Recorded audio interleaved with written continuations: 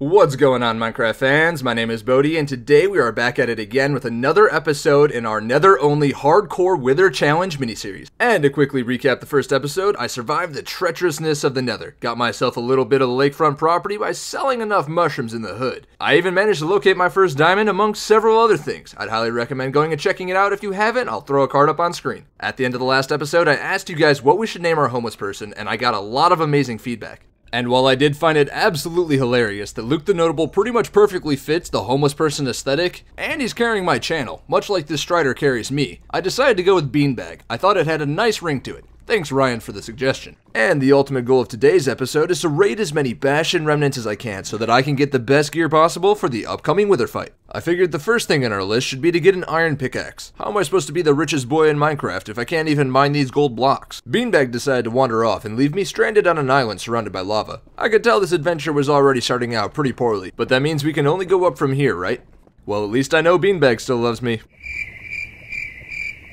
Yep, he still loves me. He just doesn't know it yet. While we didn't find a bastion, we did find another fortress, and it's whatever. It still has loot in it. And just so Beanbag remembers just how much he loves me, I'm going to be keeping him in this hole so he can think about what he's done. A little Stockholm Syndrome never hurt anyone. At least not like how I hurt this blaze. It didn't even know what hit him. It was my arrows. And fortunately for me, so far all of the loot has been terrible, but at least I got another saddle so I can replace Beanbag if he decides to act up.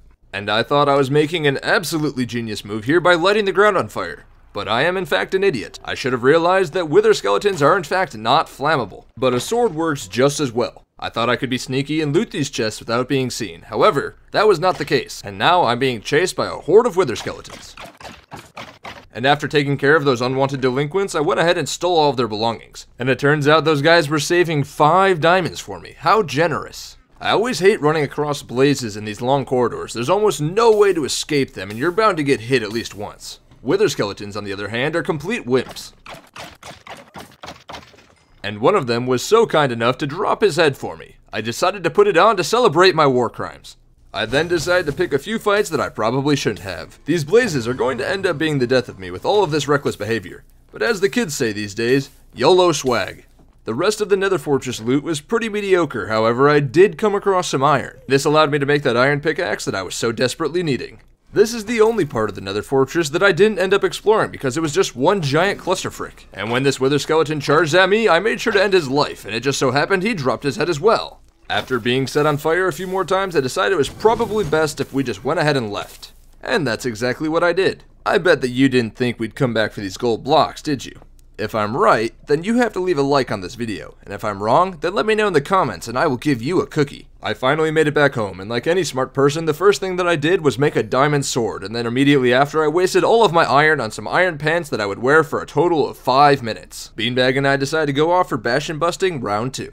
And by Bastion busting round 2, I realized that we didn't actually come across a Bastion during our first adventure. However, we're just going to pretend that the Nether Fortress was a Bastion and call it even. Plus the two Wither Skeleton heads were a nice bonus, and I really can't be too upset about that. But I can be upset that this Bastion is literally floating on top of the lava, and so I can't mine or build my way into it. And the local Hoglin population wasn't taking too kindly to me hanging out next to their island, so getting into this Bastion was going to be kind of a pain. The first thing I do when I see a Hoglin is build straight up. You can see I'm pretty good at cranking 90s in Minecraft. I also found out that Striders actually carry their children. They're basically lava kangaroos. I think this bastion must be for poor piglins because I found exactly one chest on this entire half of the building. And even then, this chest had some pretty mediocre loot. And then that's when I saw it, a statue made of solid gold. I lied, this bastion isn't for poor people, it's in fact for rich people, and I'm going to make it all mine. And I'll be starting with this chest full of shiny armor. You know, I'm not exactly sure why baby hoglins keep attacking me, but you'd think at this point they'd be sick of dying. Also, I somehow managed to get further away from the Statue of Gold. I'm not quite sure what I'm doing wrong here. The last chest in this bastion was also terrible, but honestly, I'm just happy that I got fire protection.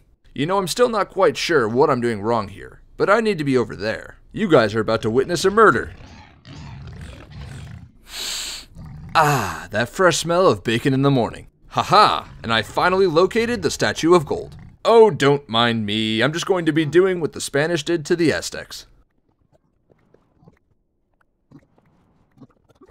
That statue was 16 blocks of gold, and in return, I will now teach you about Jesus. That sounds like a pretty fair trade to me. I'm telling you, these baby hoglins have a pretty severe death wish. I didn't want to document their murders, just know that it was painful. I quickly forgot about my violent crimes when I came across another Bastion. And as it turns out, this Bastion was having a dance party.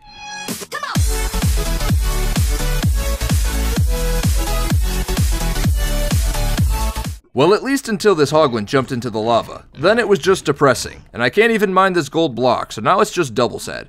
With my new diamond sword, I thought that I could take on a Hoglin, and I was horribly mistaken. I nearly died because of this. I was mere seconds away from death. One more hit and I would have been finished. I taunted him by eating his cooked brethren before safe spotting him and finishing him off. I also made certain to murder his child so that he didn't grow up one day to seek revenge. Some more gold blocks added to the collection. I fully expect to make a giant statue of myself out of solid gold before the end of this. Inside this chest, I found my first piece of ancient debris, which is awesome, because not having a diamond pickaxe yet means this is the only way that I can acquire it. Now I only need three more for it to actually be useful. I found a bunch of piglin having a party in the basement. They must not have been invited to the dance party, but I let them know. And once they all left for the dance party, I stole all of their stuff. A hoglin could have easily knocked me off this ledge and I would have fallen to my death. Realizing that I was just testing my luck, I figured it was time to head out. Ruined portals can be a good source of enchanted gold weapons and gear, and I now have a full suit of shiny gold enchanted armor. You know, there's something oddly satisfying about a zombie pig riding around on a homeless person.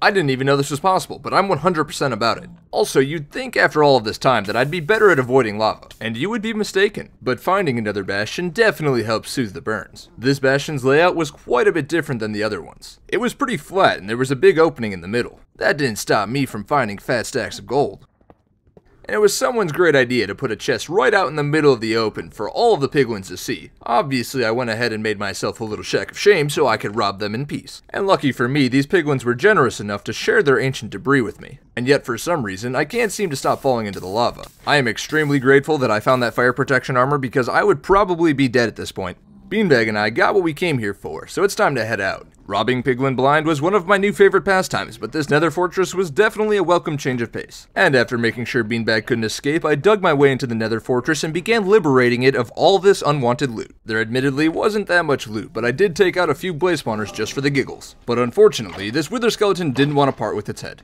And with my inventory full of loot and my belly full of mushroom stew, it was time to head out. Just after I figured out how to get down from here. Beanbag is essentially royalty at this point. I think he's really starting to like his miniature castle. But it's officially time that we head upstairs and check out exactly how much loot we've acquired so far. I'd say we came a pretty long way since the beginning of the episode with only two ancient debris away from our first piece of netherite. And you know what that means? It means the adventure's not done yet. I came across another bridge bastion. These bastions generally have three chests with some decent loot in them, as well as the statue with 16 blocks of gold.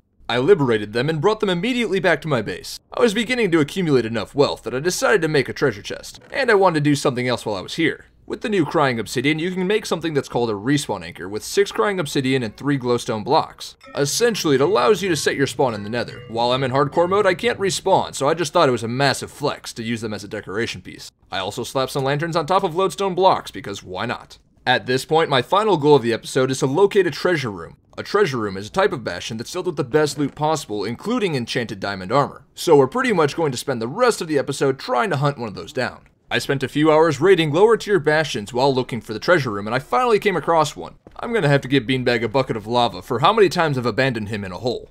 And here it is, the bridge to the treasure room. And you can see all the way at the bottom is where we're trying to go. Also, before we get down there, I just wanted to point out that I've already got a fat stack of loot. Something I learned about the treasure room is that it has a magma cube spawner, which is really awesome. I could see this coming in super handy when creating a farm. But this is hardcore, and I'm just looking to kill the wither, so I'm going to go ahead and make sure that everything's murdered.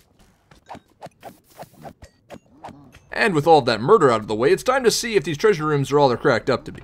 And I was unfortunately met with a very depressing sight. Where's all the enchanted diamond armor I was promised? Where's the enchanted diamond weapons? What kind of nonsense is this? Why do I only get one netherite ingot for all of this hard work? This was the biggest waste of time in the history of history. The only upside to any of this is that I came across a piece of ancient debris that I accidentally passed up on the way down. That was actually a pretty depressing raid of a treasure room. I was expecting quite a bit more than one netherite ingot and a piece of ancient debris. I'm just going to go wallow in my sadness now.